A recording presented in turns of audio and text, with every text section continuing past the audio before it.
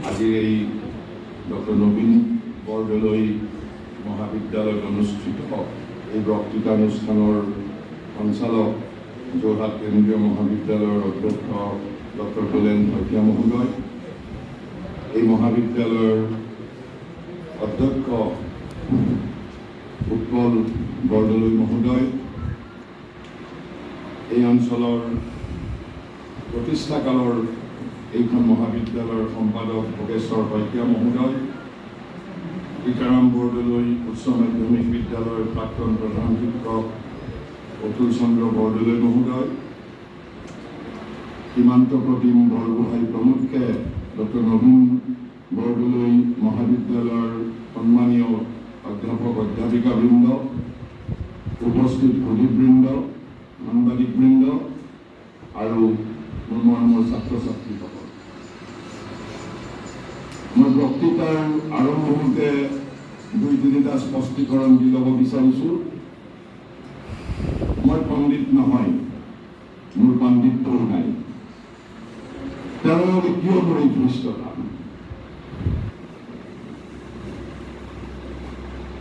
I have a sense of offering anything and everything at the lotus feet of the Supreme Divine Mother. মই যি কৰোঁ যি চিন্তা কৰোঁ এই সকলোবোৰ পৰমা দিব্যজননী শ্ৰীচৰণত সমৰ্পণ কৰোঁ।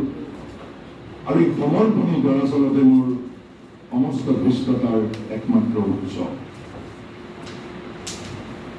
দ্বিতীয়টো স্পষ্টীকৰণ বক্তৃতা এটা সময়ত মোৰ জীৱনৰ এটা প্ৰবৃত্তি আছিল। মোৰ যৌৱনত মোৰ কৈশোৰত এটা প্ৰবৃত্তি আছিল। আজি আৰু বক্তৃতা মোৰ প্ৰবৃত্তি নহয়। বক্তৃতা সম্প্ৰতি মোৰ জীৱনৰ মোৰ সাধনাৰ এক অবিচ্ছেদ্য অংগ যোৰহাটৰ সৈতে আমাৰ পৰিয়ালটোৰ এক নিবিড় এক অন্তৰংগ এক ঘনিষ্ঠ সম্বন্ধ আছে দৰাচলতে আমি পাঁচজন ভাই ককাইৰ ভিতৰত আমাৰ চাৰিজনৰে যোৰহাট আমাৰ আদি শিক্ষাস্থান আনকি আমাৰ একেবাৰে কনিষ্ঠ ভাতৃও এই যোৰহাটতে জন্ম লাভ কৰিছিল যদিও মোৰ জন্ম শিলচৰত হৈছিল মোৰ জন্মৰ পিছতে দেউতাৰ যোৰহাটলৈ যোৰহাটলৈ বদলি হৈছিল। আৰু সেই সূত্ৰে আমি পাঁচজনৰ যদিও চতুৰ্থ ভাতৃ আমাৰ মাজত বৰ্তমান তেখেতলোক নাই আমি চাৰিজনেই যোৰহাটৰ বাল্যভৱনৰ ছাত্ৰ আছিলোঁ। আৰু সেইবাবে আমাৰ শৈশৱকাল যোৰহাটত অতিবাহিত হৈছে।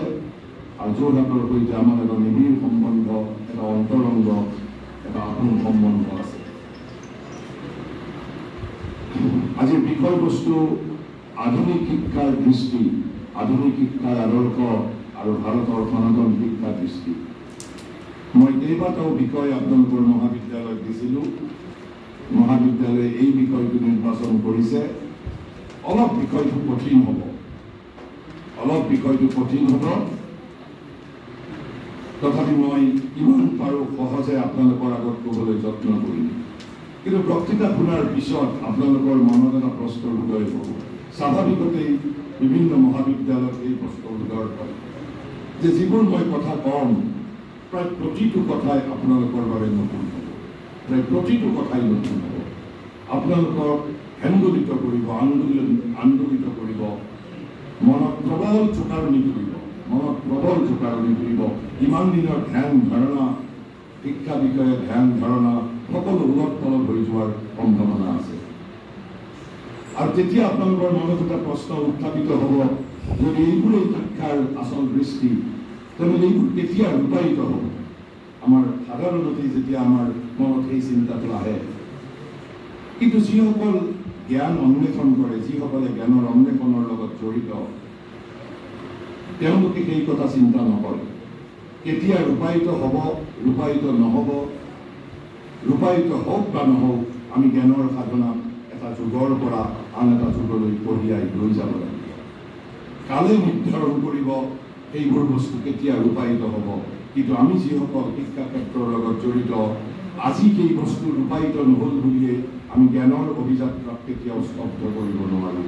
জ্ঞানৰ অভিযাত্ৰা নিৰৱচ্ছিন্নভাৱে অব্যাহত থাকিব লাগিব। এটা যুগৰ পৰা অন্য এটা যুগলৈ আমি কঢ়িয়াই লৈ যাব লাগিব। প্ৰথমতেই মই ভাৰতৰ সনাতন শিক্ষা দৃষ্টি আমি সেই বিষয়ে আলোচনা কৰিম। কিন্তু মই যিজনৰ শিক্ষাৰে শিক্ষিত হৈছোঁ মাটিৰ পৃথিৱীত দিব্য জীৱনৰ স্বপ্নদ্ৰষ্টা মহাযোগী মহাৰিষি শ্ৰী অৰবিন্দ তেওঁৰ এটা প্ৰবন্ধৰ পৰা তেওঁৰ চাৰিটা প্ৰবন্ধৰ এটা শৃংখলাৰ পৰা মই দুটামান কথা এশাৰী মাত্ৰ আপোনালোকৰ আগত উদ্ধৃতি প্ৰথমতে মই তুলি দিব বিচাৰিছোঁ। আমি ভাৰতৰ সনাতন শিক্ষা দৃষ্টি আলোচনা কৰিম আধুনিক শিক্ষাৰ কি আদৰ্শ সেয়াও আলোচনা কৰিম। কিন্তু মহাযোগীয়ে মহাযোগী শ্ৰী অৰবিন্দৰ তেওঁৰ এখন চাৰিটা প্ৰবন্ধৰ এটা শৃংখলা। শৃংখলাটোৰ শিৰোনাম হ'ল ব্ৰেইন অফ ইণ্ডিয়া ভাৰতৰ মস্তিষ্ক ব্ৰেইন অফ ইণ্ডিয়া মই ভাবোঁ তেওঁৰ বাহিৰে ভাৰতৰ আৰু আন কোনেও এতিয়ালৈ এই বিষয়টোৰ ওপৰত আলোকপাত কৰা নাই যে ভাৰতৰ মস্তিষ্ক ব্ৰেইন অফ ইণ্ডিয়া ভাৰতৰ মস্তিষ্ক। তেওঁ তাত এটা প্ৰশ্ন কৰিছে হোৱাট ৱাজ দি চিক্ৰেট কি আছিল ৰহস্য what was the secret of the gigantic intellectuality spirituality and superhuman moral force which we see pulsating in the Ramayana and Mahabharata, in the ancient philosophy, in the supreme poetry, art, sculpture, and architecture of India.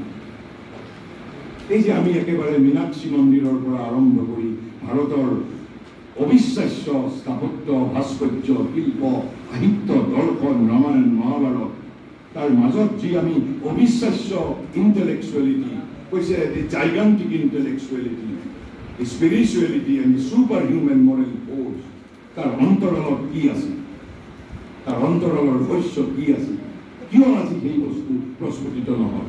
আগত যদি হৈছিল সম্প্ৰতি কিয় নহয় what was the secret তাৰ ৰহস্য কি আছে কেৱল সেয়াই নহয় তেওঁ সুধিছে what was at the basis of the incomparable public works and engineering achievements, the opulent and exquisite, exquisite industries, the great triumphs of science, scholarship, jurisprudence, logic, metaphysics, the unique social structure. এনেকুৱা আৰু কথা কৈছে মই কেৱল মাত্ৰ এই প্ৰসংগটো উত্থাপন কৰিছোঁ যে এই এই অবিশ্বাস্য জাইগান্টিক ইণ্টেলেকচুৱেলিটি দি স্পিৰিচুৱেলিটি আৰু the superhuman moral force তাৰ অন্তৰৰ ৰহস্য কি আছিল?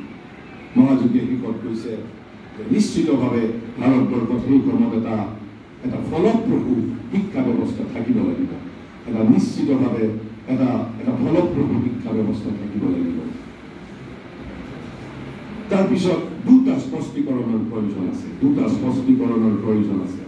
মই ইয়াত ছাত্ৰ ছাত্ৰীসকলৰ বাবে অলপ বিষয়বস্তুটো কঠিন হ'ব কাৰণ it's a purely academic topic purely academic topic গতিকে অলপ যদি মনোযোগ দিয়ে যদি ইয়াৰ এক শতাংশ যদি জানিব পাৰে তেনেহ'লে সেয়াও ছাত্ৰ ছাত্ৰীসকলৰ বাবে বহুত বহুত ডাঙৰ কথা।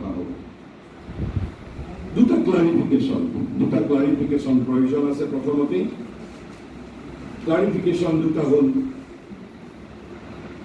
মহাযোগীৰ এজন বিশ্ববিদ কিৰিট যোশী আপোনালোকে গুগলত চাৰ্চ কৰিলে গুগলত বিচাৰিলে তেওঁৰ বিষয়ে জানিব পাৰিব এজন মহান শিক্ষাবিদ মই ব্যক্তিগতভাৱেও তেওঁৰ সান্নিধ্য দহ বছৰমান আগতে এবাৰ পাইছিলোঁ বৰ্তমান তেওঁ প্ৰয়াত কিৰিট যোশী নাম মই তেওঁৰ বিষয়ে পাতনি নেমেলো আপোনালোকে গুগলত তেওঁৰ বিষয়ে জানিব বিচাৰিলে জানিব পাৰিব।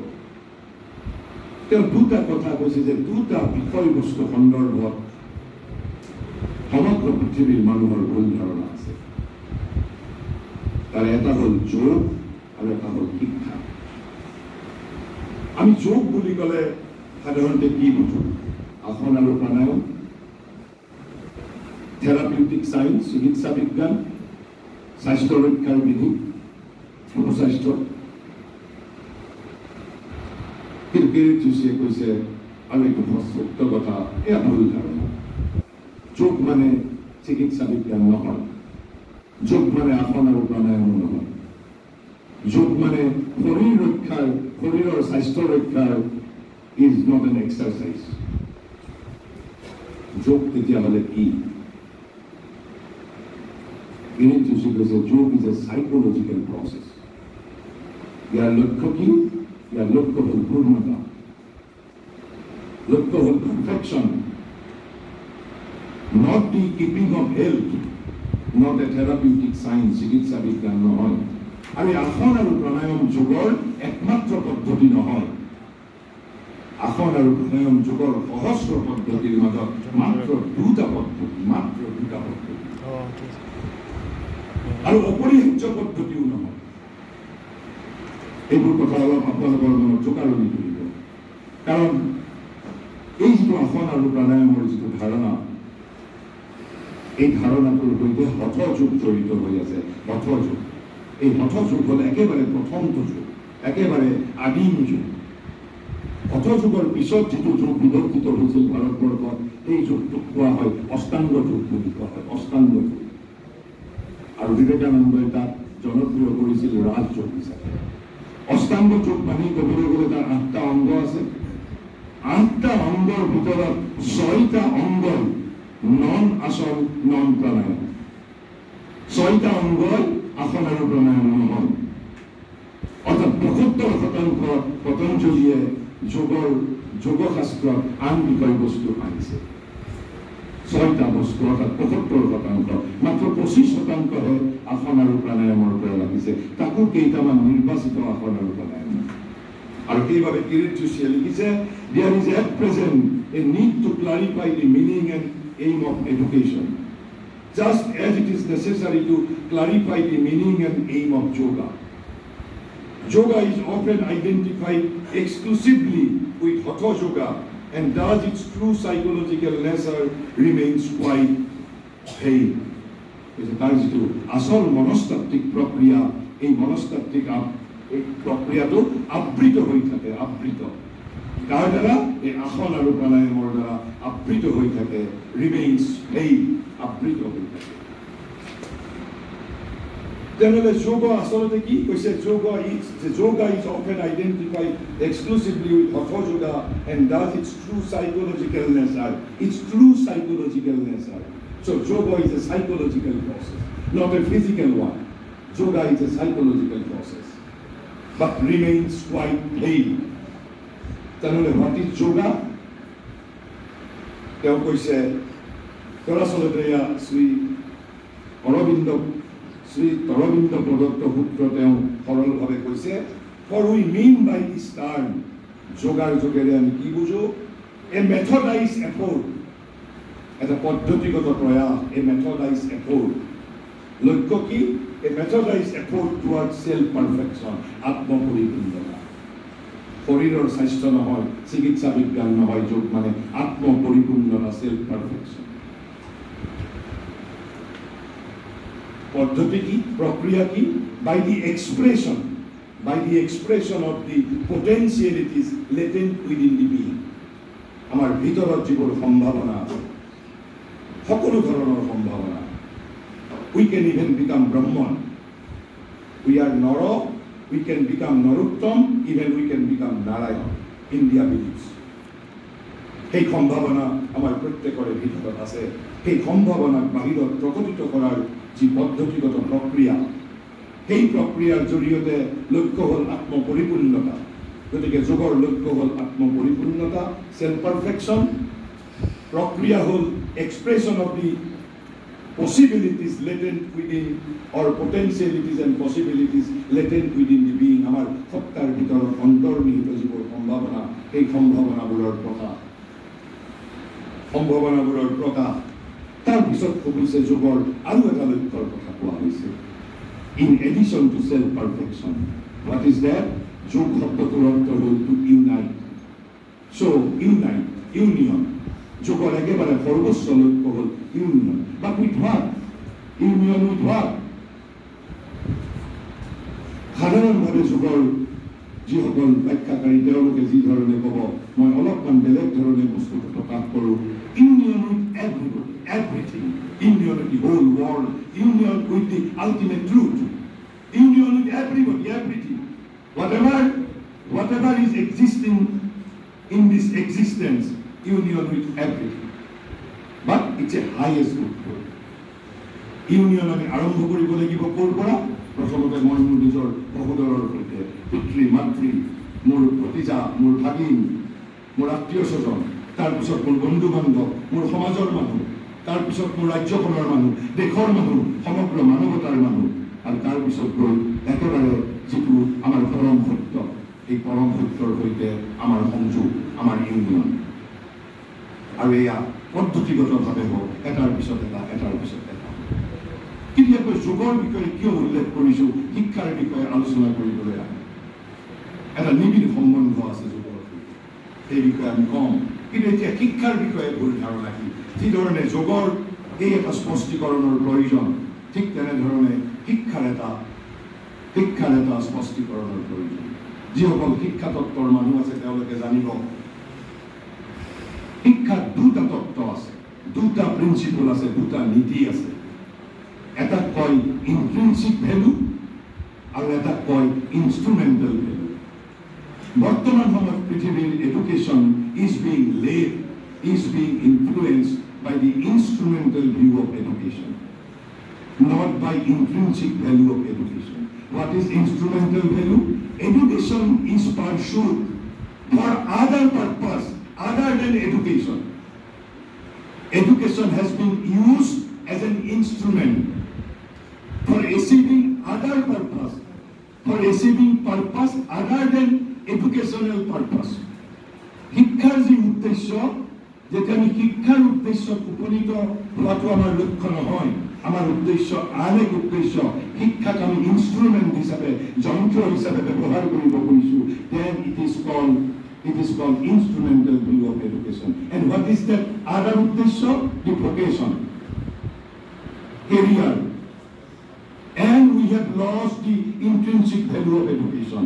শিক্ষাৰ যি মূল উদ্দেশ্য এই মূল উদ্দেশ্যৰ সৈতে পৃথিৱীৰ সভ্য সমাজৰ বৰ্তমান সম্বন্ধ নাই। শিক্ষিত সমাজৰ কোনো সম্বন্ধ নাই।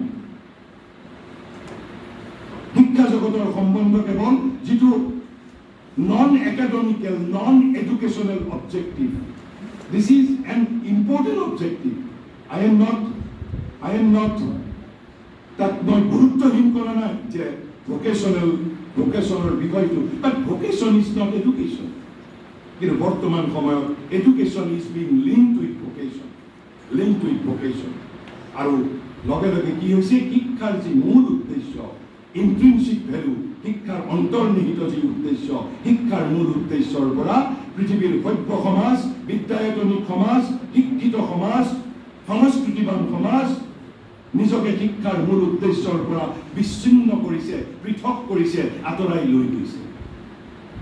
আৰু কিৰিট জোচে সেইবাবে কৈছে শিক্ষাৰ বিষয়ে সেই এটা আমি স্পষ্টীকৰণৰ প্ৰয়োজন আছে। কৈছে কি কৈছে তেওঁ? কৈছে similarly education is often identified with vocational training or with some kind of moral culture mental culture but its fundamental nature of integral psychological process. Integral psychological process remains quite vague. So education, what is education? Integral psychological process. And what is yoga? Yoga is also integral psychological process.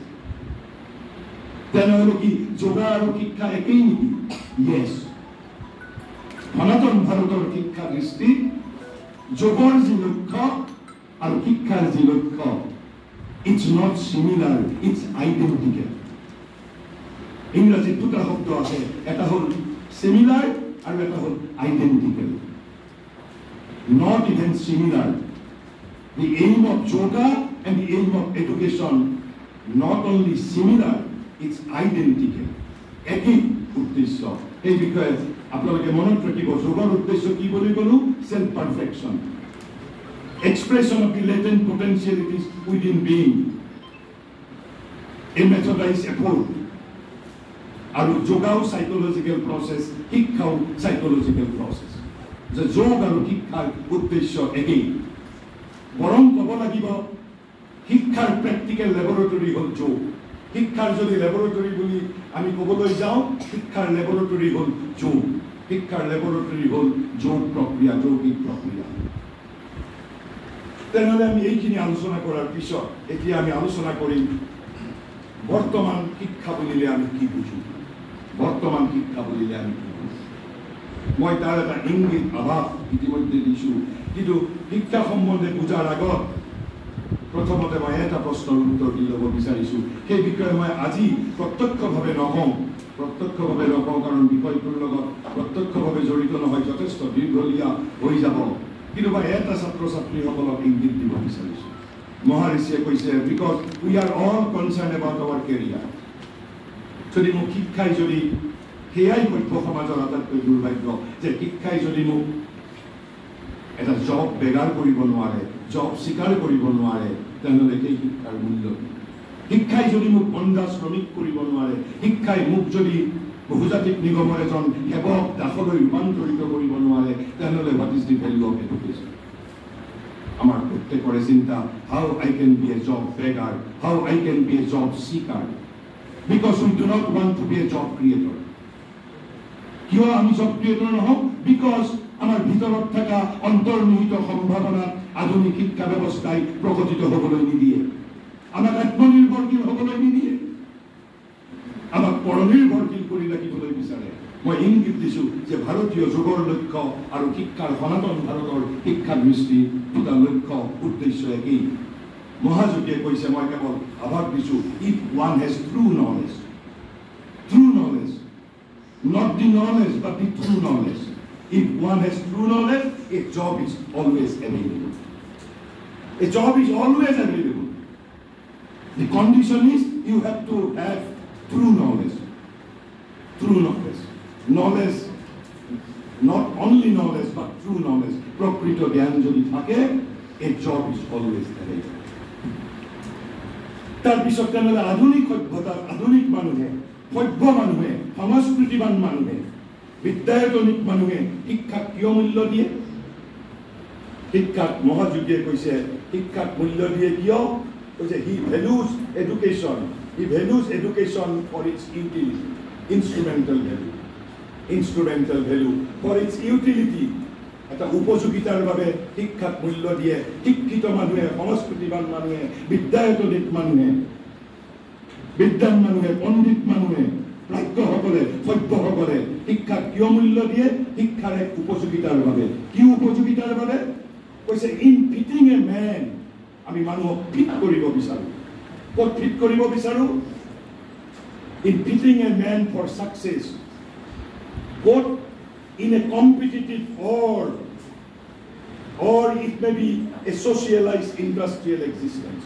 এই সমাজতান্ত্ৰিক শিল্প জগতত মই যাতে বাচি টিকি থাকিব পাৰোঁ এই সমাজতান্ত্ৰিক শিল্প জগত কিয় এইখন অকল সমাজতান্ত্ৰিক জগত বুলি কোৱা হোৱা নাই বিকজ ইট ইজ কমাৰ্চিয়েলাইজ আমি বৰ্তমান সাংস্কৃতিক যুগৰ মাজত বাস কৰা নাই। This is not purely a cultural age মানৱ সভ্যতাৰ কিজানি আটাইতকৈ কলংকিত যুগ বুলি প্ৰমাণিত হ'ব পাঁচ হাজাৰ বছৰ পিছত বৰ্তমানৰ যুগ। এই মঙলত চাং পাতিব খোজা বিজ্ঞানৰ অত্যাচাৰ্য সফলতাৰ এই যুগ কিজানি মানৱ ইতিহাসৰ আটাইতকৈ কলংকিত ইতিহাস বুলি ভৱিষ্যতৰ পৰিণত মানৱতাই গৱেষণা পত্ৰ লিখি পি এইচ ডি ডিগ্ৰী ল'ব। কাৰণ this is purely commercial age বাণিজ্যতান্ত্ৰিক সমাজ। গতিকে কৈছে যে ছচিয়েলাইজ সমাজতান্ত্ৰিক শিল্প জগতত মই যাতে আই কেন বি ফিটেড তাৰ বাবে শিক্ষাৰ যিমান উপযোগিতা তাতকৈ বেছি শিক্ষাক মূল্য নিদিয়ে আধুনিক সভ্য সমাজে। আৰু বিজ্ঞানক কিয় মূল্য দিয়ে? বিজ্ঞানৰ জ্ঞানৰ বাবে নট এট অল। বিজ্ঞানক আমি কিয় মূল্য দিওঁ? যি ধৰণে আমি দৰ্শনক মূল্য নিদিওঁ। কিয় দৰ্শনক মূল্য নিদিওঁ? কাৰণ দৰ্শনে মোৰ জীৱনটো আৰামদায়ক কৰি তুলিব নোৱাৰে কিন্তু বিজ্ঞানে মোৰ জীৱন আৰামদায়ক কৰি তুলিব পাৰে আৰু সেইবাবে বিজ্ঞানক আধুনিক সভ্য শিক্ষিত সংস্কৃতিবান মানুহে বিজ্ঞানক মূল্য দিয়ে। কৈছে science for the useful invention and knowledge for the useful invention and knowledge the comfort convenience mercenary of production with which it earns in. Its power for organization, regulation, stimulus to production. যদি আমাক বিজ্ঞানে এইবোৰ দিব নোৱাৰিলেহেঁতেন আমি বিজ্ঞানকো দৰ্শনৰ দৰে বৃদ্ধাংগুষ্ট দেখুৱাই দিলেহেঁতেন বৰ্তমানৰ সংস্কৃতিবান সভ্য মানৱ সভ্যতাই। যি ধৰণে আমি দৰ্শন সাহিত্য শিল্প এইবোৰক বৃদ্ধাংগুষ্ট দেখুৱাইছোঁ কেৱল মাত্ৰ মুছলিমে একাংশক বাদ দি আমি বিজ্ঞানক আদৰি লৈছোঁ কিয়? কাৰণ বিজ্ঞানে আমাৰ জীৱন আৰামদায়ক কৰি তুলিব পাৰে। তাৰপিছত দুটা আকৌ দুটা শিক্ষাৰ ধাৰণা এটা হ'ল আধুনিক মনীষীসকলৰ আৰু এটা হ'ল আমাৰ ঋষিসকলৰ কৃষ্টি। প্ৰথমতে আধুনিক মনীষীসকলে কি কৈছে আমি কোনো নহওঁ আধুনিক মনীষীসকলে কৈছে all the men has not yet really heard and understand message of the sages আধুনিক সভ্যতা এতিয়াও স্বীকাৰ কৰি লোৱা নাই ঋষি বাক্য গ্ৰহণ কৰা নাই। আধুনিক যুগে ঋষিসকলক এক প্ৰকাৰে বৰ্জন কৰিছে। ঋষিসকলৰ পৰিৱৰ্তে কাক গ্ৰহণ কৰিছে?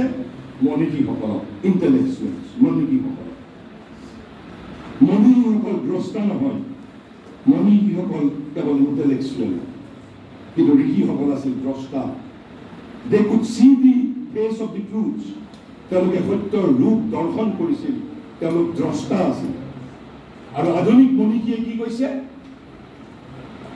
কৈছে এডুকেট টাইছেল নিজকে শিক্ষিত কৰি তোলা হোৱাট ইজ ৰং ইন ইয়াত আপত্তি কৰিবলগীয়া কি আছে নিজকে শিক্ষিত কৰি তোলা but still it is not the message of the sages এয়া কিন্তু ভাৰতৰ বাণী নহয় ভাৰতৰ বাণী কি ভাৰতে কৈছে নো টাইছেল নট এডুকেট টাইছেল নো টাইছেল আত্মানন্দুক্তি নিজকে জানা। আৰু আধুনিক মনীষীয়ে কৈছে নিজকে শিক্ষিত কৰি তোলা। ভাৰতবৰ্ষই কৈছে নিজকে জানা মোৰ দাইছে মই দুটা দৃষ্টি দেখুৱাবলৈ গৈছো। আধুনিক শিক্ষাৰ আদৰ্শই কৈছে এডুকেট দাইছেল নিজকে শিক্ষিত কৰি তোলা। আৰু ঋষিসকলে কৈছে আত্মৰং বৃদ্ধি নিজকে জানা। কাৰণ নিজক যদি মই নাজানো মোৰ ভিতৰৰ অন্তৰ্নিহিত সম্ভাৱনা যে আছে মই নাজানিম মই অন্ধ হৈ থাকিম মই পৰনিৰ্ভৰশীল হৈ থাকিম মই বহুজাতিক নিগমৰ তলত নিৰ্ভৰশীল বন্ধা শ্ৰমিক হৈ থাকিব লাগিব। আৰু যিদিনা মই নিজক জানিম সিদিনা মই মোৰ নিজৰ সম্ভাৱনাক প্ৰকটিত কৰিম। আৰু যিদিনা মই মোৰ নিজৰ সম্ভাৱনাক প্ৰকটিত কৰিম সিদিনা মই চৰাত হ'ম দন্তীয়া হয় বৈশ ৰটকাৰে ৰা আৰু মধুনীয়া ত আত্মদীপ্ত ভগৱান হ'ম মই। আত্মদীপ্ত ভগৱান চেল্ফ ইলুমাইন ডিভাইন কিন্তু আমাৰ সভ্য সমাজে আমাক ছাত্ৰ ছাত্ৰীসকলক আত্মনিৰ্ভৰশীল হ'বলৈ নিদিয়ে। তাৰপিছত এষাৰ বাক্য মই কওঁ আপোনালোক শিক্ষকসকল প্ৰধান্বিত হ'ব। একেবাৰে আপোনালোক প্ৰধান্বিত হ'ব। মই আগেই কৈছোঁ মই প্ৰতিটো কথাই আপোনালোকক জোকাৰণি তুলিব। আপোনালোকৰ ইমান দিনৰ ধ্যান ধাৰণা ওলট পালট হৈ যাব। মই যিখিনি কথা কওঁ আপোনালোকে মানিব নে নামানিব ইটছ আপ টু ইউ কিন্তু মই যি ধৰণে শিকিছোঁ বুজিছোঁ উপলব্ধি কৰিছোঁ হৃদয়ংগম কৰিছোঁ মই যদি এষাৰ বাক্য আপোনালোকৰ আগত কওঁ পৃথিৱীৰ অকল আপোনালোক নহয় পৃথিৱীৰ সমগ্ৰ পৃথিৱীৰ শিক্ষক সমাজ মোৰ একেবাৰে জুমুঠি দাহ কৰিব মই যদি কওঁ the teacher spoils everything not anything teacher spoils everything by thinking that is তেনেহ'লে আপোনালোকে ক'ব তেনেহ'লে কোনে শিকাইছে? শিক্ষকে শিকাওঁ বুলি কৈ নিজকে সকলো মাটি কৰি পেলাইছে বুলি কৈছে। Teacher spoils everything not anything but everything বুলি কোৱা হৈছে। মই কৈছোঁ everything not anything but everything আপোনালোক নিশ্চিতভাৱে মোৰ ওপৰত প্ৰধান্বিত হৈছে আকৌ যদি মই এনেকৈ কওঁ নাথিং কেন বি টট কোনেও কাকো একো শিকাবই নোৱাৰে। তেনেহ'লে তেনেহ'লে আমাক চৰকাৰে কিয় বেতন দিছে দৰমহা দিছে গোটেই সমগ্ৰ পৃথিৱীব্যাপী কোটি কোটি শিক্ষক শিক্ষা কৰ্মত নিযুক্ত হৈ আছে তেনেহ'লে মোক এই প্ৰশ্নৰ উত্তৰ আধুনিক শিক্ষা বিজ্ঞানে দিব লাগিব ভূতত Eklavya Eklavya was reduced by his guru Durgacharyya. Yet Ekalabya became a great answer. Even greater than Arjun. Who taught Eklavya আমাক সেই প্ৰশ্নৰ উত্তৰ দিব লাগিব দুই বছৰীয়া ল'ৰা ছোৱালীক ভাষা কোনে শিকায় কোনখন ভাষা বিজ্ঞান প্ৰতিষ্ঠানত শিকিবলৈ যায় দুই বছৰীয়া ল'ৰা ছোৱালীয়ে যেতিয়া ভাষা শিকে আমাক সেই প্ৰশ্নৰ উত্তৰ দিব লাগিব চৰাই ঘৰক উৰিবলৈ কোনে শিকায় বিবেকানন্দই যেতিয়া বিশ্বজয়ী ভাষণ দিছিল বিশ্বজয়ী ভাষণ দিছিল একত্ৰিশ বছৰ আগতে চিকাগোত সেই সময়ত তেওঁৰ গুৰু এইখন পৃথিৱীত নাছিল আৰু গুৰু তেওঁৰ নিৰক্ষৰ আছিল গুৰুৱে নিজৰ জন্মস্থানৰ বাহিৰে আন জাগালৈ ভ্ৰমণ কৰি পোৱা নাছিল বিবেকানন্দ। কোনে বিবেকানন্দক শিকাইছিল আৰু বিবেকানন্দৰ সেয়া জীৱনৰ প্ৰথমটো ভাষণ আছিল আৰু প্ৰথমটো ভাষণতে বিশ্ব জয় কৰিছিল trained up বিবেকানন্দ আমাক এই প্ৰশ্নৰ উত্তৰ আধুনিক শিক্ষা বিজ্ঞানে দিব লাগিব মই নিজৰ জীৱন মহিমামণ্ডিত কৰাৰ বাবে কোৱা নাই আপোনালোকে মোৰ পৰিচয় দিওঁতে এটা কথা শিকিছিল আপোনালোকে জানিব পাৰিছে I was a student of accountancy I was taught accountancy. In Guwahati Commerce College by my esteemed teachers. কিন্তু আজি মোৰ আৰু হিচাপ বিজ্ঞানৰ সৈতে মোৰ জীৱনৰ কোনো সম্বন্ধ নাই আজি যিবোৰ বিষয়বস্তু মোৰ জীৱনৰ সৈতে সম্বন্ধ মইতো কোনো মহাবিদ্যালয়ত যোৱা নাই এইবোৰ শিকিবৰ কোনো বিশ্ববিদ্যালয়তো যোৱা নাই। হু ইজ টিচিং আমাৰ সেই প্ৰশ্নৰ উত্তৰ আধুনিক শিক্ষা বিজ্ঞানে দিব লাগিব। অৰ্থাৎ শিক্ষাৰ কেৰম ক'ত আছে? শিক্ষাৰ ভুল ধাৰণা ক'ত আছে? কিন্তু ইমান ডাঙৰ কথা দিগন্ত বিশ্ব শৰ্মাই ক'ব নোৱাৰে।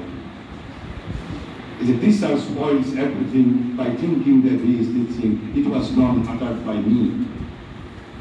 It was uttered by none other than Swami Vivekananda. আৰু মহাৰিষে কৈছে nothing can be talk nothing তেওঁ তিনিটা শিক্ষা সম্বন্ধীয় তিনিটা নীতিৰ প্ৰথম নীতিটোৰ প্ৰথম বাক্যই হ'ল nothing can be talk nothing can be talk তেনে কোনে আমাক শিকায় সমগ্ৰ পৃথিৱীত মাত্ৰ এজন শিক্ষক আছে। সমগ্ৰ পৃথিৱীৰ সাতশ ত্ৰিশ কোটি মানুহৰ শিক্ষক মাত্ৰ এজন। আৰু বাকী যে কোটি কোটি শিক্ষক শিক্ষাবৃত্তিত নিযুক্ত হৈ আছে তেওঁলোক কোন এই আচল শিক্ষকজনৰ প্ৰতিনিধি। ডেপুটি ৰিপ্ৰেজেণ্টেটিভ প্ৰতিভূ। আৰু এই আচল শিক্ষকজন কোন তেওঁক কোনো দৰমহা দিব নালাগে। সেই আচল শিক্ষকজনৰ কোনো পাঠশালা কোনো মহাবিদ্যালয় বিশ্ববিদ্যালয়ো নাই।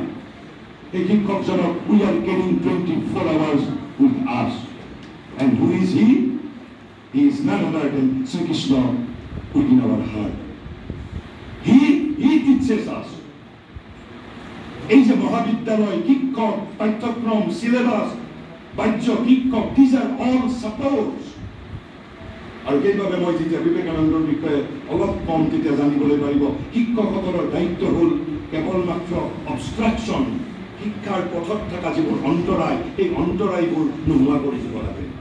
To remove the obstruction, not to impart knowledge, but to remove the obstruction.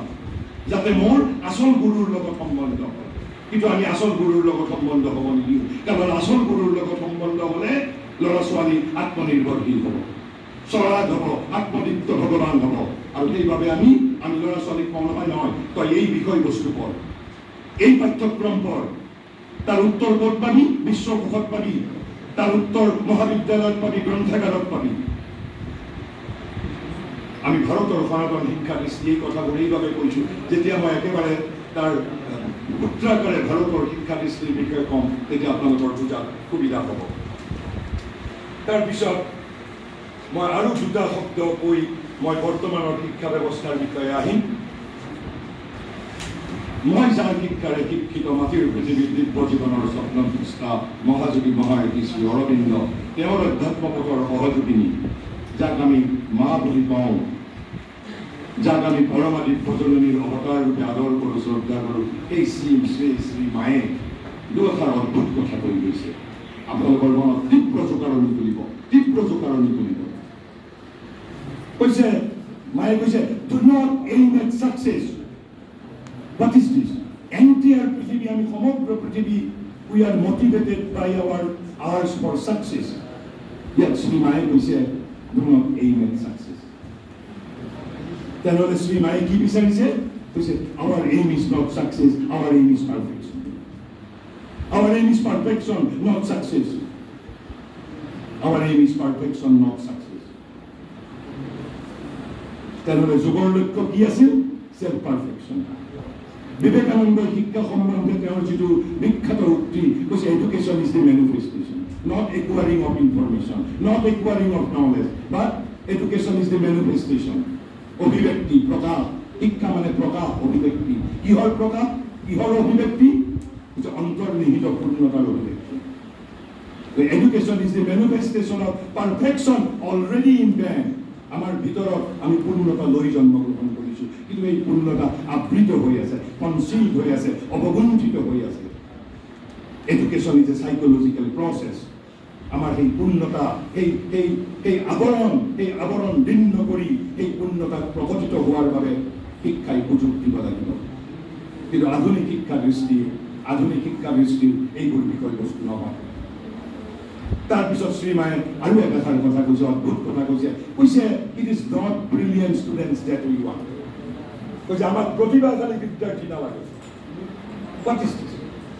সমগ্ৰ পৃথিৱী উই আৰ আফটাৰ টেলেণ্ট কিন্তু শ্ৰীমায়ে কৈছে কৈছে it is not brilliant student that we one তেনেহ'লে আমাক কি লাগে আমাক কি লাগে কৈছে ইট ইজ লিভিং চৌল আমাক জীৱন্ত আত্মা লাগে তাৰ দৰে জীৱন্ত আত্মা এইখিনি মোৰ কথা শ্ৰীমায়ে কোৱা কথা হ'ল আমাক জীৱন্ত আত্মা লাগে তাৰমানে আমি আমি পৃথিৱীৰ নিৰান্নব্বৈজন মানুহ আচলতে মৃত আমি জীৱন্ত মৃত ব্যক্তি we are not conscious of our self আমি অৰ্ধ সচেতন অবচেতন জীবন্ত আত্মা জীবন্ত আত্মাৰ উদাহৰণ মই এটা দিছো ভক্ত প্ৰহ্লাদ যেতিয়া ভক্ত প্ৰহ্লাদক সুধিছে ক'ত ভগৱান অত্যাচাৰী পিতৃয়ে সুধিছে ছয় বছৰীয়া বালকে কৈছে মোৰ ভগৱানক তুমি য'তেই বিচাৰা তাতেই পাবা। আৰু তাৰ পিছৰ ইতিহাস আমি জানো ভক্তৰ হৃদয়ত যেতিয়া আঘাত কৰা হয় তেতিয়া ভগৱান ক্ৰোধান্বিত হয়। আৰু ভগৱান যেতিয়া ক্ৰোধান্বিত হয় ভগৱানে তেতিয়া নৰসিংহ অৱতাৰ ৰূপ ধাৰণ কৰে so' it is not brilliant student that we one it is living soul আমাক জীৱন্ত আত্মা লাগে ধ্ৰুৱৰ দৰে জীৱন্ত আত্মা লাগে। আমাক ভক্ত প্ৰহ্লাদৰ দৰে জীৱন্ত আত্মা লাগে। তেনেহ'লে এতিয়া আমি আহিছোঁ। আধুনিক শিক্ষা ব্যৱস্থা মানি আধুনিক শিক্ষা ব্যৱস্থা মানি আধুনিক শিক্ষা ব্যৱস্থা কাৰণ মোৰ প্ৰথম বিষয়টোৰ এটা এভাগ হ'ল the the idea of the the of modern education আধুনিক শিক্ষাৰ আদৰ্শ একেবাৰে আধুনিক শিক্ষা তিনিটা বস্তুক লৈ গঠিত হৈছে। তিনিটা আধুনিক শিক্ষাৰ তিনিটা উপাদান। আছে তিনিটাৰ সৈতে আৰু এটা উপাদান প্ৰথম মহাযুদ্ধৰ পিছৰ পৰা পৃথিৱীৰ সভ্য সমাজে একাংশ সভ্য সমাজে নট বাই দি হোল একাংশ সভ্য সমাজে শিক্ষাৰ অংগ বুলি স্বীকৃতি দিবলৈ আৰম্ভ কৰিছে আৰু পৃথিৱীৰ ভাৰতবৰ্ষকে ধৰি পৃথিৱীৰ বিভিন্ন প্ৰান্তত অলপ অলপ অলপ অলপকৈ তাত শিক্ষা ব্যৱস্থাৰ মাজত আনিবলৈ যত্ন কৰিছিল। আৰু মই সৌভাগ্যৱান আজি মই শ্ৰদ্ধাৰে এগৰাকী যোৰহাটৰ মহান শিক্ষাবিদৰ নাম মই সোঁৱৰণ কৰিছোঁ। আমাৰ শিক্ষাগুৰু আছিল বাল্য ভৱনৰ অবলা গোহাঁই বাইদেউ। সেই অবলা গোহাঁই বাইদেৱে বুজিছিল সেই চতুৰ্থ যিটো সেই চতুৰ্থ যিটো যিটো যিটো উপাদান কেৱল অবলা গোহাঁই বাইদেৱে জানিছিল মোৰ দৃষ্টিত অসমত। আৰু সেই চতুৰ্থ বস্তুটো কিন্তু এতিয়াও সমগ্ৰ পৃথিৱীৰ মানুহে পৰিপূৰ্ণৰূপে গুৰুত্ব প্ৰদান কৰা নাই যদিও একাংশই প্ৰথম মহাযুদ্ধৰ পিছৰ পৰা গুৰুত্ব দিবলৈ আৰম্ভ কৰিছে কিন্তু এতিয়াও সেয়া শিক্ষাৰ একেবাৰে এলাগী। সেয়া এতিয়াও যেন এতিয়াও যেন মানে খতীয়া মাতৃৰ পুত্ৰৰ ধৰণে ব্যৱহৃত হয় সেই চতুৰ্থ উপাদানটো। আমি সেই বিষয়ে কম কিন্তু প্ৰথম তিনিটা উপাদান কি? আধুনিক শিক্ষা বুলি ক'লে আমি কি বুজো? প্ৰথমটো হ'ল একুৱাৰিং অফ নলেজ। শিক্ষাৰ জ্ঞানৰ আহৰণ। জ্ঞানৰ আহৰণ। একুৱাৰিং অফ নলেজ কিন্তু ভাৰতবৰ্ষই জ্ঞানৰ আহৰণ এই নীতিত বিশ্বাস নকৰে। আপোনালোক আচৰিত হৈছে। আচৰিত কথা যে ভাৰতবৰ্ষক জ্ঞান সূৰ্য বুলি কোৱা হয়। কিন্তু ভাৰতবৰ্ষই acquiring of knowledge is not the agenda yes acquiring of knowledge it not the was not the agenda of eternal India then what was the agenda evoking of knowledge. Not the acquiring of knowledge, but the evoking of knowledge. জ্ঞানৰ উন্মেষ জ্ঞানৰ আহৰণ নহয় জ্ঞানৰ উন্মেষ There is a vast radical difference between acquiring of knowledge and the evoking of knowledge. Evoking, evoking, knowledge has to be evoked from within, not to be acquired from outside like money, not to be acquired from encyclopedia, not to be acquired from books, not to be acquired from college, not to be acquired from universities, but to be evoked from within. But to be evoked from within. গতিকে আধুনিক শিক্ষা ব্যৱস্থাই শিক্ষাৰ উন্মেষৰ লগত আধুনিক শিক্ষা ব্যৱস্থা জড়িত নহয় আধুনিক শিক্ষা ব্যৱস্থা জড়িত জ্ঞানৰ আহৰণ ক'ৰ পৰা আহৰণ কৰি বাহিৰৰ পৰা যেনেকৈ আমি খেতি খেতি কৃষি সামগ্ৰী আমি বিভিন্ন সম্পদ বাহিৰৰ পৰা আহৰণ কৰোঁ।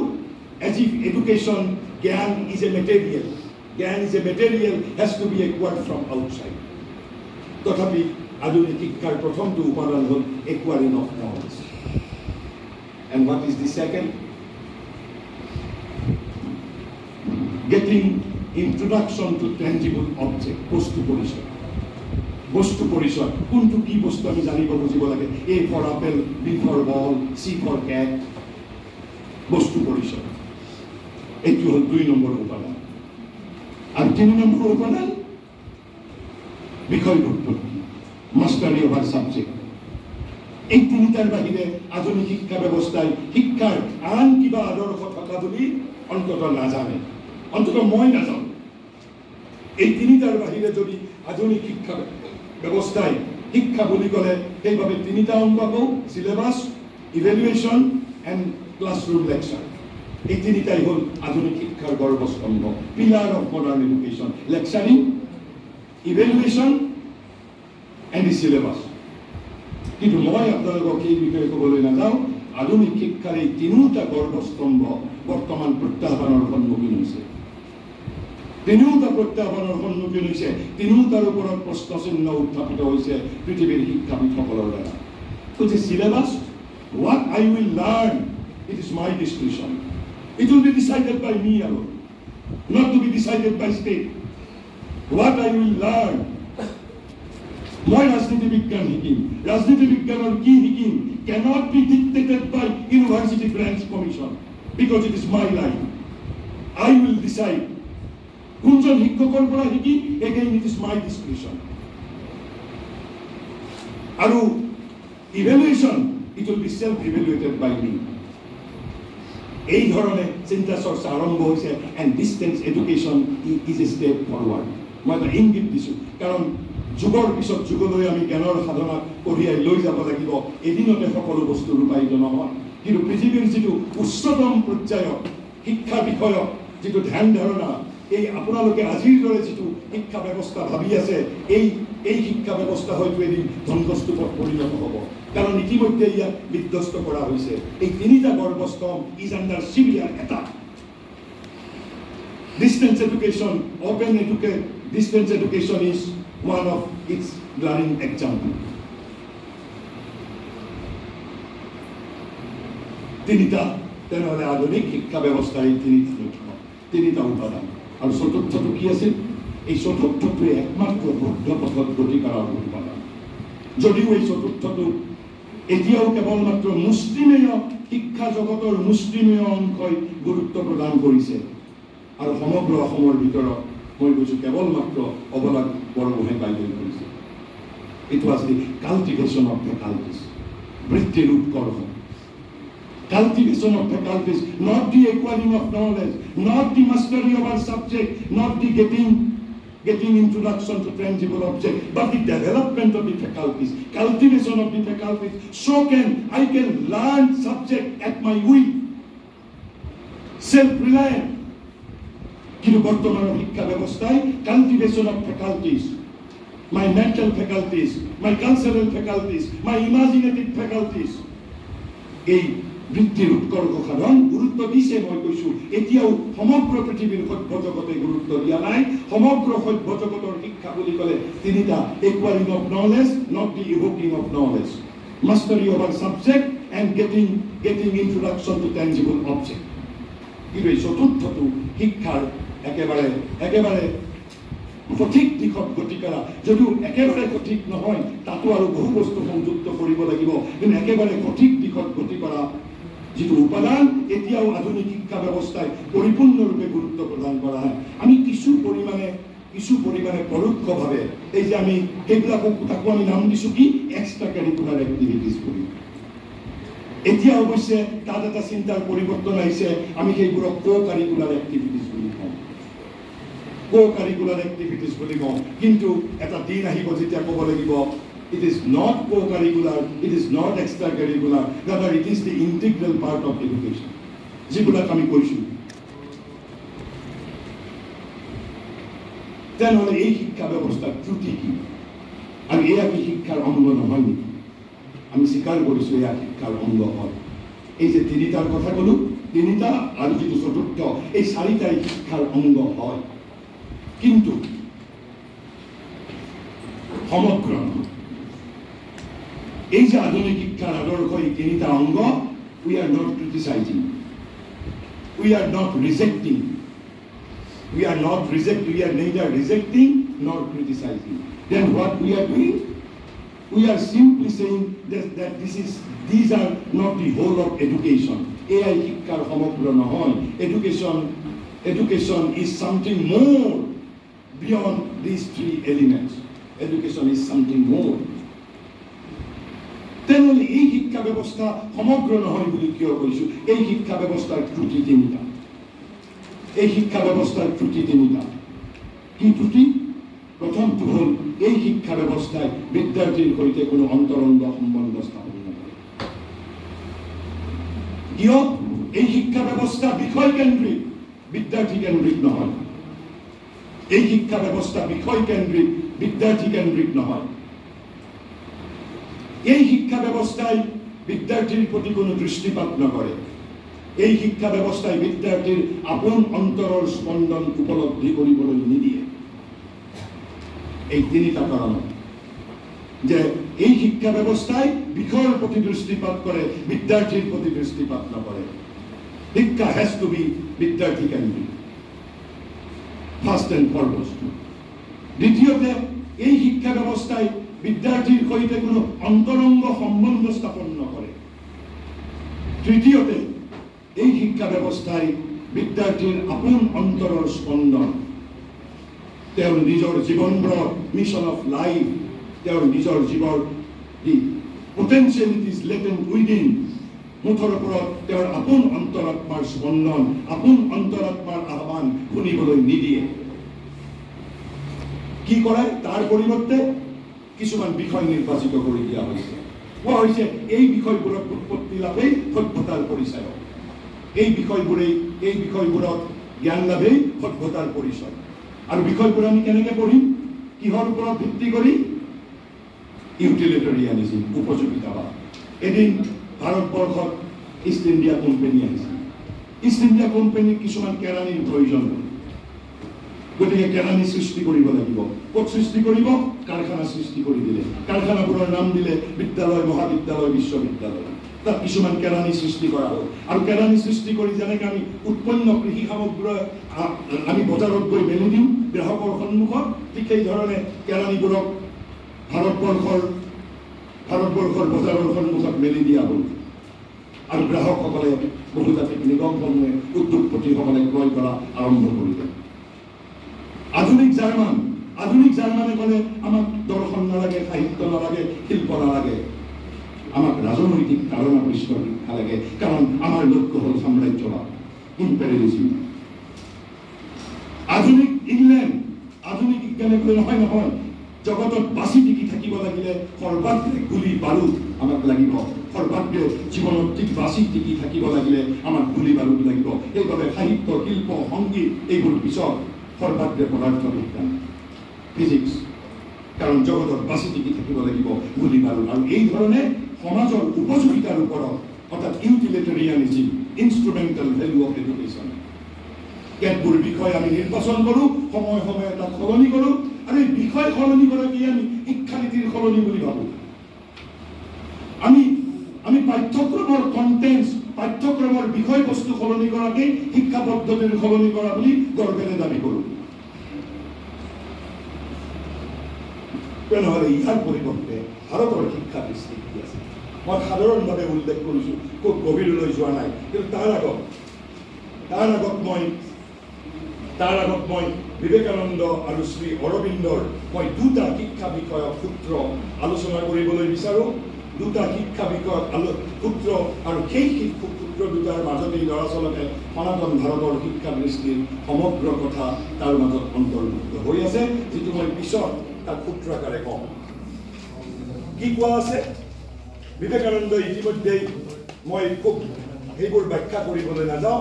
বিবেকানন্দই যিটো প্ৰথম কথা কৈছে information is not education information is not education আনকি বিবেকানন্দে এটা গ্ৰেণ্ড ইউনিফিকেশ্যন স্কিমৰ কথা কৈছে। Grand unification scheme unification between what unification between science and spirituality science and spirituality তাৰপিছত বিবেকানন্দই কৈছে knowledge is within knowledge is not Indian encyclopedia knowledge is within সেইবাবে ভাৰতবৰ্ষই ইভুকিং অফ নলেজৰ কথা কয় তাৰপিছত বিবেকানন্দই কৈছে এটা নাৰ্ভাছ এছ'চিয়েশ্যন অফ আইডিয়াছ এই বিষয়ে মই আজি ব্যাখ্যা নকৰোঁ কৈছে শিক্ষা হ'ল আমাৰ কিছুমান ধাৰণা মোৰ জীৱনজোৰা মোৰ ৰস ৰক্তৰ অবিচ্ছেদ্য অংগ হৈ যাব লাগিব। This is what is call education যে গছৰ পাত সেউজীয়া কিয় গছৰ পাতৰ ৰং সেউজীয়া কিয় ৰঙা কিয় নহ'ল? এই বিষয় লৈ যদি মোক বিদ্যাৰ্থীক হেন্দুলিত কৰিব পাৰে মোৰ যদি জীৱনজোৰা সাধনাৰ যদি বিষয় হৈ যায় যেনেকৈ আমাৰ আমাৰ মই যিজনে এখন এখন খৰাং অঞ্চলৰ পৰা মৰুভূমিৰ পৰা উদ্ভিদ সৃষ্টি কৰিছিল আমাৰ অসমৰ মই কি? নামটো পটককৈ অহা তেখেতে আমাৰ যাদৱ পায়ঙে এটা জীৱনজোৰা যাদৱ পায়ং ইজ মোৰ শিক্ষাবিদ দেন দেন দেন দেন আছ যেতিয়া এটা বিষয় এটা নিৰ্দিষ্ট এটা বিষয় যেতিয়া কৈছে নাৰ্ভাছ এছ'চিয়েশ্যন অফ আইডিয়াছ যেনেকৈ মোৰ nervous system is is associated with my with my being তেনেকৈ এটা ধাৰণা বিবেকানন্দই বাৰু পাঁচটা ধাৰণা বুলি কৈছে যে পাঁচটা ধাৰণা যদি মোৰ জীৱনৰ অংগ হৈ যায় তেনেহ'লে সেইজন আচল শিক্ষাবিদ আৰু তাতকৈ তেওঁ বেছি শিক্ষা ভাল শিক্ষাৰ্থী যে যিজনে এখন বিশ্বকোষত থকা সমস্ত কথা জানিছে। কিন্তু মইতো কৈছোঁ পাঁচটা নালাগে এটা বিষয় বস্তু হ'লেও যথেষ্ট। তাৰপিছত শিক্ষাৰ শিক্ষাৰ শিক্ষা আহৰণৰ শিক্ষা আহৰণৰ আমাৰ মাধ্যম। হোৱাট ইজ শিক্ষা বিজ্ঞান বিবেকানন্দই কৈছে একমাত্ৰ concentration the art of concentration science of concentration আপোনালোকে ছাত্ৰ ছাত্ৰীক যদি কথা পঢ়াই থাকোঁতে কয়নে নকয় মনোযোগ দিয়া মনোযোগ দিয়া মনোযোগ দিয়া অৰ্থাৎ মনোযোগ নিদিলে একাগ্ৰ নহ'লে আমি শিকিব নোৱাৰোঁ গতিকে ভাৰতৰ শিক্ষা বিজ্ঞানৰ অৰ্থাৎ বিবেকানন্দই কৈছে কনচেনট্ৰেশ্যন মই বহলাই ক'বলৈ নাযাওঁ এইবোৰ বহলাই বহু কথা ক'ব লগা আছে তাৰপিছত যদি আমি একেবাৰে বিবেকানন্দৰ শিক্ষা ক্ষেত্ৰটোক যদি আমি যদি ছয়টা কেপচুল আকাৰে যদি কেপচুল আকাৰে জানিবলৈ বিচাৰোঁ তেনেহ'লে বুজিব লাগিব বিবেকানন্দৰ তিনিটা এছ আৰু তিনিটা চি। তিনিটা চিৰে কৈছে what is education education is concentration education is culture education is culture education is concentration and education is character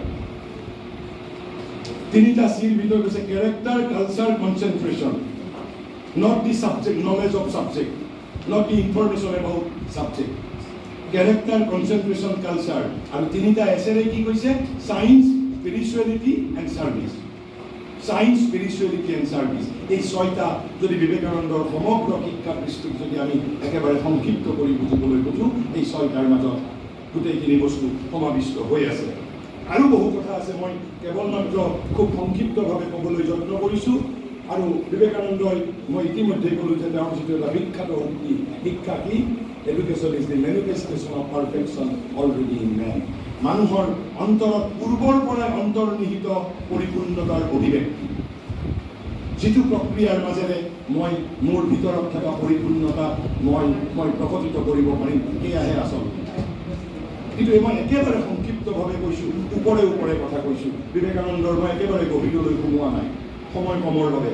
তাৰপিছত মই এতিয়া শ্ৰী অৰবিন্দৰ এটা মই দুটা ডেফিনেশ্যনলৈ আহিছোঁ শিক্ষা বিষয় আৰু সেই দুটাতেই বিবেকানন্দই কোৱা কথাখিনিও সোমাই আছে তাতকৈ আৰু বিয়ন গৈছে। আৰু গোটেই ভাৰতৰ শিক্ষা দৃষ্টিৰ বিষয়ে যেতিয়া মই ক'ম মই মাত্ৰ তিনিটা কথা ক'ম ভাৰতীয় শিক্ষা দৃষ্টিৰ মূল তিনিটা উপাদান। যেনেকৈ আধুনিক শিক্ষা দৃষ্টিৰ তিনিটা উপাদান কৈছোঁ তেনে ভাৰতৰ সনাতন শিক্ষা দৃষ্টিৰ তিনিটা উপাদানৰ বিষয়ে ক'ম। সেই তিনিটা উপাদানৰ বিষয়ে বুজাৰ আগত যদি আমি শ্ৰী অৰবিন্দই কোৱা এই শিক্ষা সম্পৰ্কীয় সংজ্ঞা দুটা বুজিব পাৰোঁ তাৰ মাজতে গোটেইখিনি কথা আছে। শ্ৰী অৰবিন্দই কৈছে ইট চেণ্ট্ৰেল এইম কৈছে but the acquiring of various kinds of information is only one and not the chief of the means and necessities of education বিবেকানন্দইটো ক'লে information is not education Shri অৰবিন্দই at least he has recognise that yes be an element of education but not the chief but not the chief chief means or the necessities of education মুখ্য লক্ষ্য নহয় মুখ্য লক্ষ্য কি এই যে মই চতুৰ্থটো element কি কৈছিলোঁ কাল্টিভেশ্যন অফ ফেকাল্টিজ কি কৈছে it central aim is the building of the powers of mind and spirit building of the powers of mind and spirit মনৰ শক্তি বিকশিত কৰা আত্মাৰ শক্তি বিকশিত কৰা। Building of the power of mind and spirit so' they without the help of teacher I can learn a subject at my will at my will আৰু তাৰপিছত কৈছে তাৰপিছত কৈছে it central aim is the building of the power of the human mind and spirit তাৰপিছত কৈছে it is the formation as I would prefer to view it the evoking of knowledge or formation of knowledge or evoking of knowledge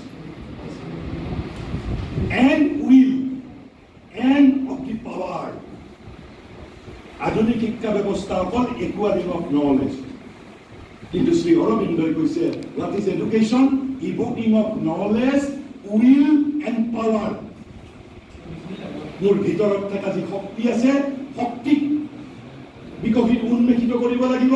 ভিতৰত মোৰ যি সংকল্প আছে সেই সংকল্পক উন্মেষিত কৰিব লাগিব। আৰু ভিতৰত যি জ্ঞান আছে সেই জ্ঞানক উন্মেষিত কৰিব লাগিব। This is what is call education আৰু তাৰ বাবে আমাক কি লাগিব? The building of the powers of mind and spirit মন আৰু আত্মাৰ শক্তি বৃদ্ধি কৰা বিকশিত কৰা। আৰু why we need evoking of knowledge power and will to use to use knowledge character and culture আমি জ্ঞানক ব্যৱহাৰ কৰিব পাৰিব লাগিব। জ্ঞান সংস্কৃতি কেৰেক্টাৰ কালচাৰ আৰু নলেজক ব্যৱহাৰ কৰাৰ বাবে আমি কি বুকিং কৰিব লাগিব? নলেজ উইল এণ্ড পাৱাৰ তাৰ বাবে কি কৰিব লাগিব?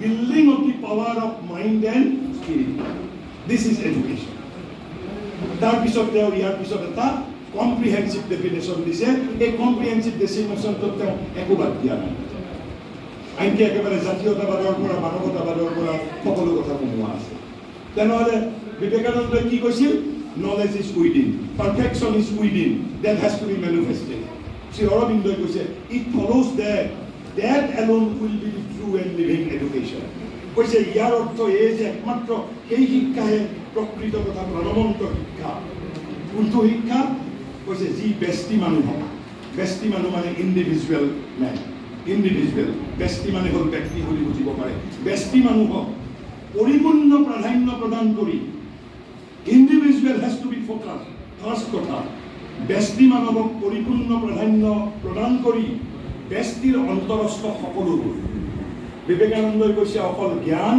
আৰু পূৰ্ণতা। শ্ৰী অৰবিন্দই যেনিবা শব্দটো কৈছে ভিতৰত থকা চব যি আছে ভিতৰত। আৰু ভিতৰত এটা ভাণ্ডাৰ। কৈছে অন্তৰস্থ সকলোবোৰ। আৰু পাৰ্চিয়েলি প্ৰকাশ নহয় কৈছে পূৰ্ণৰূপে বিকশিত। পূৰ্ণৰূপে বিকশিত আৰু প্ৰকাশিত হোৱাত সহায় কৰে। সেই শিক্ষাহে জীৱন্ত যে ব্যক্তিৰ অন্তৰস্থ সকলোবোৰ যি শিক্ষাই বিকশিত আৰু পূৰ্ণৰূপে প্ৰকাশিত হোৱাত সহায় কৰে সেই শিক্ষাহে জীৱন্ত শিক্ষা। এক নম্বৰ। দুই নম্বৰ কি কৈছে? অকল এই যে অন্তৰস্থ সকলোবোৰ বিকশিত আৰু প্ৰকটিত কৰিলো হোৱাই অকল সেয়াই লক্ষ্য নহয় বুলি কৈছে। আৰু এটা লক্ষ্য আছে। কি লক্ষ্য?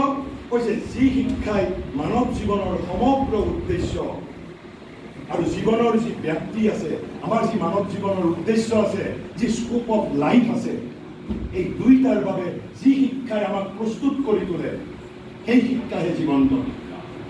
অৰ্থাৎ মই স্নাতকোত্তৰ হোৱাৰ লগে লগে মই মোৰ জীৱনৰ উদ্দেশ্য সম্বন্ধে মই সম্পূৰ্ণৰূপে অৱহিত হ'ব লাগিব। জীৱনৰ যি ব্যক্তি আছে সেই ব্যক্তিৰ বিষয়ে মই জানিব লাগিব। Then I will be call স্নাতকোত্তৰ।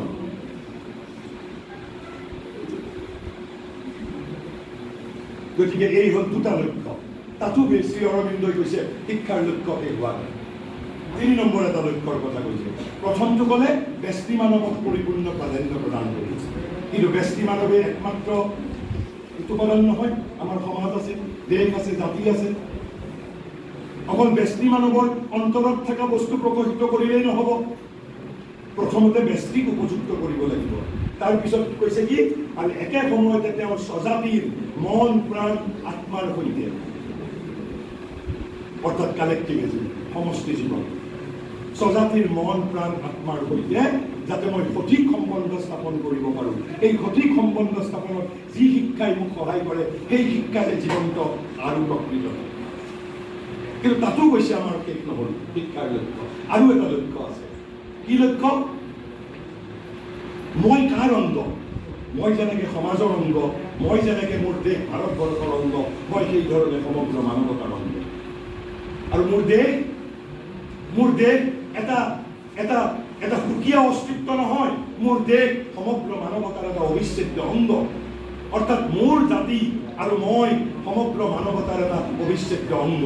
কৈছে মোৰ স্বজাতিৰ মন প্ৰাণ আত্মাৰ সৈতে যি মই সঠিক সম্বন্ধ স্থাপন কৰিব লাগিব তাৰ সমানে সমানে সমগ্ৰ মানৱ জাতিৰ মন প্ৰাণ আত্মাৰ সৈতে যি শিক্ষাই মোক সঠিক সম্বন্ধ স্থাপনত সহায় কৰে সেই শিক্ষাহে জীৱন্ত আৰু প্ৰকৃত।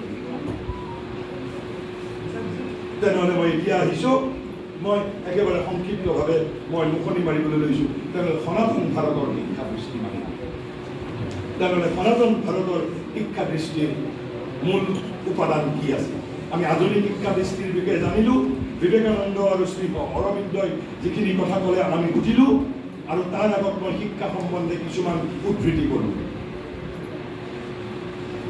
আধুনিক শিক্ষা ব্যৱস্থাৰ অ ভাৰতৰ সনাতন শিক্ষা দৃষ্টিৰ তিনিটা উপাদান যেনেকে আধুনিক শিক্ষা ব্যৱস্থাৰ তিনিটা উপাদান ঠিক সেইধৰণে ভাৰতৰ সনাতন শিক্ষা দৃষ্টিৰ তিনিটা উপাদান মই কি কৈছিলোঁ প্ৰথমতে যে যোগৰ উদ্দেশ্য আৰু শিক্ষাৰ উদ্দেশ্য নট চিমিলাৰ বাট আইডেণ্টিকেল তেনেহ'লে ভাৰতৰ শিক্ষা দৃষ্টি আৰম্ভ হৈছে বিষয়ক লৈ নহয় ভাৰতৰ বাবে বিষয় গুৰুত্বপূৰ্ণ নহয় ভাৰতৰ বাবে কি গুৰুত্বপূৰ্ণ জীৱন গুৰুত্বপূৰ্ণ life life life is the এই জীৱনৰ সাৰ্থকতা লক্ষ্য হ'ল জীৱন নট দি বিষয়বস্তু জীৱন জীৱনৰ সাৰ্থকতা ভাৰতৰ সনাতন শিক্ষা দৃষ্টিৰ প্ৰথম লক্ষ্য। জীৱনৰ সাৰ্থকতা হোৱাট ইজ লাইফ জীৱনক কেনেকৈ অৰ্থবহ কৰিব পাৰি? জীৱনৰ সাৰ্থকতা কি উদ্দেশ্যত পৃথিৱীলৈ think of a methodized organization of life. A methodized organization of life is the first element of element of India's eternal vision of education. Methodized organization of life. First element. Second element, vast and astonishing fund of integral knowledge. Vast and astonishing fund of integral knowledge. Why I am using the word integral? Integral means purna, purna gyan, akhanda gyan. Not one-sided knowledge, but integral knowledge. জ্ঞান অখণ্ড জ্ঞান integral শব্দটোৰ অৰ্থ and what does it mean বিবেকানন্দই কি কৈছিল তিনিটা S service science and spirituality grand unification theory science and spirituality উপনিষদে কৈছে আমাৰ জ্ঞান মানে কৈছে দুবিধ জ্ঞান আছে ভাৰতবৰ্ষই দুবিধ জ্ঞানৰ কথা স্বীকাৰ কৰে। কি দুবিধ জ্ঞান? এটাক কৈছে পঢ়া বিদ্যা আৰু এটাক কৈছে অপৰা বিদ্যা পঢ়া বিদ্যা হ'ল হায়াৰ নলেজ আৰু অপৰা বিদ্যা হ'ল লোৱাৰ নলেজ পঢ়া বিদ্যা আৰু অপৰা বিদ্যা পঢ়া বিদ্যা আৰু অপৰা বিদ্যা অৰ্থাৎ পঢ়া মানে হায়াৰ আৰু অপৰা মানে হ'ল লোৱাৰ যিসকলৰ সংস্কৃত আছে তেওঁলোকে জানিব পাৰিব। পঢ়া বিদ্যা অপৰা বিদ্যা এই পঢ়া বিদ্যা আৰু অপৰা বিদ্যা কি বস্তু? পঢ়া বিদ্যা আৰু অপৰা বিদ্যা আমি ক'লো অপৰা বিদ্যা মানে লোৱাৰ নলেজ লোৱাৰ নলেজ আৰু আৰু পঢ়া বিদ্যা মানে কি বুলি ক'লো? হায়াৰ নলেজ কিন্তু ইয়াত উচ্চ আৰু নিম্ন কথা বুজোৱা হোৱা নাই। দুটা নিৰ্দিষ্ট কথা স্পেচিফিকেলি বুজাইছে উপনিষদৰ শব্দ এয়া পঢ়া বিদ্যা অপৰা বিদ্যা পঢ়া বিদ্যা হ'ল science of consciousness science of consciousness science of soul science of subjectivity science of subjectivity, science of consciousness, science of soul. আৰু অপৰাবিদ্যা হ'ল মানে কি science of matter science of world science of objectivity আমি যে কওঁ বস্তুনিষ্ঠ যুক্তিনিষ্ঠ অৰ্থাৎ যিটো বস্তু আমি চকুৰে দেখা পাইছোঁ বস্তুনিষ্ঠ যিটো যদি একেবাৰে বিবেকানন্দই যিটো সহজ ভাষাৰে কৈছে পঢ়া বিদ্যা হ'ল স্পিৰিচুৱেলিটি অপৰা বিদ্যা হ'ল চায়েন্স অপৰা বিদ্যা হ'ল চায়েন্স আৰু পঢ়া বিদ্যা হ'ল স্পিৰিচুৱেলিটি কাৰণ স্পিৰিচুৱেলিটি মানে হ'ল আত্মাৰ জ্ঞান চেতনাৰ জ্ঞান আন্তৰ্তত্বৰ জ্ঞান। গতিকে ভাৰতবৰ্ষ কিহক লৈ জড়িত? ভাৰতবৰ্ষ জড়িত ইণ্টিগ্ৰেল নলেজ ভাৰতবৰ্ষ জড়িত integral knowledge not with the one sided knowledge ইয়াক যদি আমি আৰু অলপ যদি ব্যাখ্যা যদি কৰোঁ আৰু অলপ যদি আমি যদি ব্যাখ্যা কৰোঁ তেনেহ'লে আমি জানিব পাৰিম তিনিটা বিষয়ক লৈ ইণ্টিগ্ৰেল নলেজ গঠিত হৈছে তিনিটা বিষয়। এই তিনিটা বিষয় যদি ইয়াত যদি আমি আৰু অলপ বুজিবলৈ যত্ন কৰোঁ প্ৰথমতে মই কি কৈছিলোঁ ঋষি বাক্য আৰু মনীষীৰ বাক্য। মনীষীৰ বাক্যই কি কয়? এডুকেট দাইছেল আৰু ঋষিয়ে কি কয়? নো দাইছেল আত্মনম বৃদ্ধি নিজকে জানা। গতিকে এই যে পূৰ্ণ শিক্ষা পূৰ্ণ জ্ঞান পূৰ্ণ জ্ঞানৰ তিনিটা অংগ আছে। প্ৰথমটো হ'ল self knowledge self knowledge second element is world knowledge পৃথিবীর জ্ঞান অর্থাৎ পদার্থ বিজ্ঞান রসায়ন বিজ্ঞান নৃতত্ব রাজনীতি অৰ্থনীতি সমাজতত্ব সেইবাবে আমি কৈছিলোঁ আধুনিক শিক্ষাৰ যি আমি তিনিটা অংগ কৈছিলোঁ এয়া শিক্ষাৰ অংগ বুলি কৈছোঁ কিন্তু শিক্ষাৰ সমগ্ৰ নহয় বুলি কৈছোঁ। আৰু হ'ল তিনি নম্বৰ এলিমেণ্টটো কি knowledge of the supreme truth যিটো পৰম সত্য এই পৰম সত্যৰ। গতিকে ভাৰতবৰ্ষই Bharatvarsha was not interested with subject Bharatvarsha was interested with knowledge but what type of knowledge integral knowledge পূৰ্ণ শিক্ষা অখণ্ড শিক্ষা অখণ্ড শিক্ষা মানে কি আত্মজ্ঞান জগত জ্ঞান আৰু পৰম সত্যৰ বিষয়ে জ্ঞান সেই ধৰণেও ক'ব পাৰোঁ আৰু নহ'লে ক'ব পাৰোঁ পৰা বিদ্যা অপৰা বিদ্যা বুলি ক'ব পাৰোঁ। নহ'লে ক'ব পাৰোঁ জগত বিজ্ঞান আৰু অধ্যাত্ম বিজ্ঞান। গীতাত তাকেই কৈছে ক্ষেত্ৰ আৰু ক্ষেত্ৰজ্ঞ বুলি কৈছে উপনিষদত পৰা বিদ্যা অপৰা বিদ্যা বুলি কৈছে। অৰ্থাৎ এটা হ'ল আত্মনিষ্ঠ এটা হ'ল বস্তুনিষ্ঠ। এটা আন্তৰ্বিজ্ঞান এটা বহিৰ্জগতৰ বিজ্ঞান। তাকেই ভাৰতবৰ্ষই কি কৈছে? পূৰ্ণ শিক্ষা বুলি কৈছে। পূৰ্ণ জ্ঞান বুলি কৈছে। আৰু ভাৰতীয়কে ভাৰতৰ সনাতন শিক্ষা দৃষ্টিৰ এয়া হ'ল দ্বিতীয়টো অংগ আৰু তৃতীয়টো অংগ কি? যোগৰ কি লক্ষ্য আছিল? একজেক্টলি যোগৰ যিটো লক্ষ্য ভাৰতৰ সনাতন শিক্ষা দৃষ্টিৰো এই তৃতীয়টো লক্ষ্য একেবাৰে আইডেণ্টিটি যোগৰ কি লক্ষ্য বুলি কৈছিলোঁ? চেল্ফ পাৰফেকশ্যন চেল্ফ পাৰফেকশ্যন আৰু কি বুলি কৈছিলোঁ? What what was the process?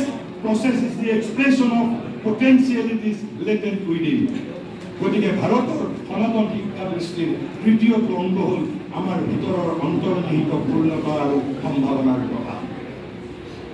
অন্তৰ্নিহিত পূৰ্ণতা আৰু সম্ভাৱনাৰ প্ৰকাশ।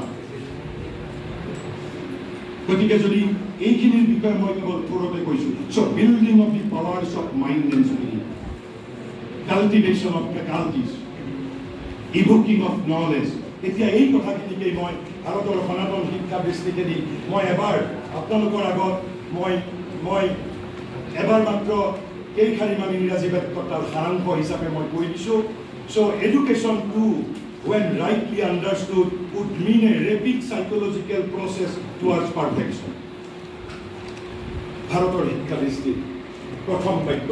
So' education a rapid psychological process towards perfection education is a search for knowledge and it is a search for values.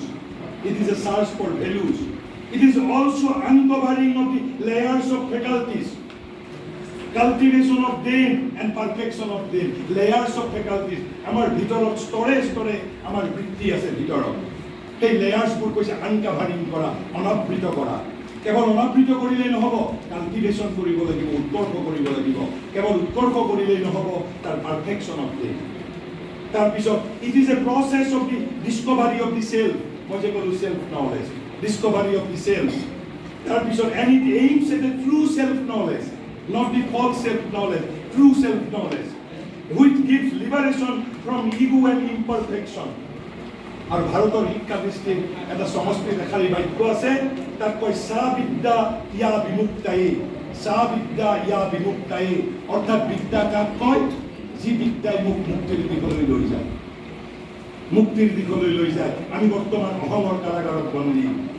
কৈছে education is a search for that knowledge which should fulfil oneself individually and as a harmonious member of the universe But this is also the meaning of the yoga. এই যে শিক্ষাৰ যিখিনি উদ্দেশ্যৰ কথা ক'লো এইখিনিয়ে যোগৰ উদ্দেশ্য।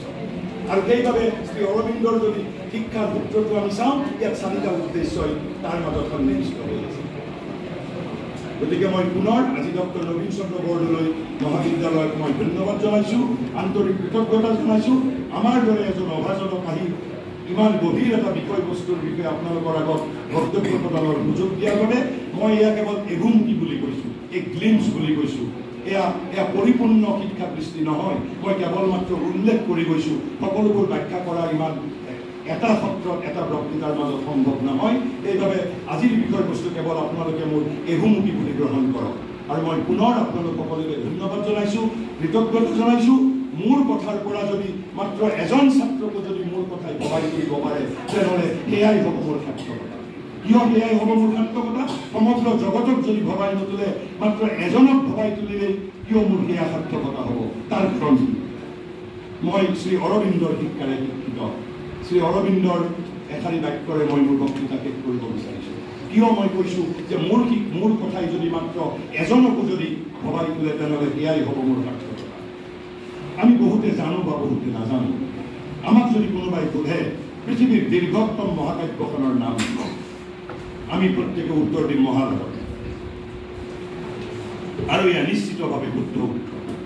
কিন্তু Mahabharata is in Sanskrit language কিন্তু যদি আপোনাক সোধে ইংৰাজী ভাষাৰ সৰ্বদীৰ্ঘ মহাকাব্যখনৰ নাম। কি আমি ইয়াত কোনোবা ইংৰাজী বিভাগত জানে নে নাজানে মই নাজানো।